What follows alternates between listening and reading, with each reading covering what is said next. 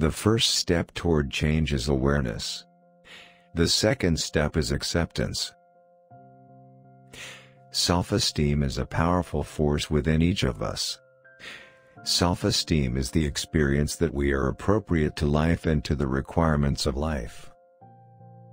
In a world in which the total of human knowledge is doubling about every 10 years, our security can rest only on our ability to learn. There is overwhelming evidence that the higher the level of self-esteem, the more likely one will be to treat others with respect, kindness, and generosity. Self-esteem is the reputation we acquire with ourselves. A woman in love will do almost anything for a man, except give up the desire to improve him. When I was a child, I felt at times that I had been born into an insane asylum.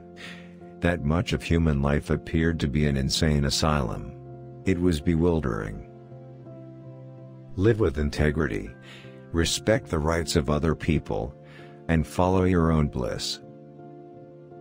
Productive achievement is a consequence and an expression of health and self-esteem, not its cause.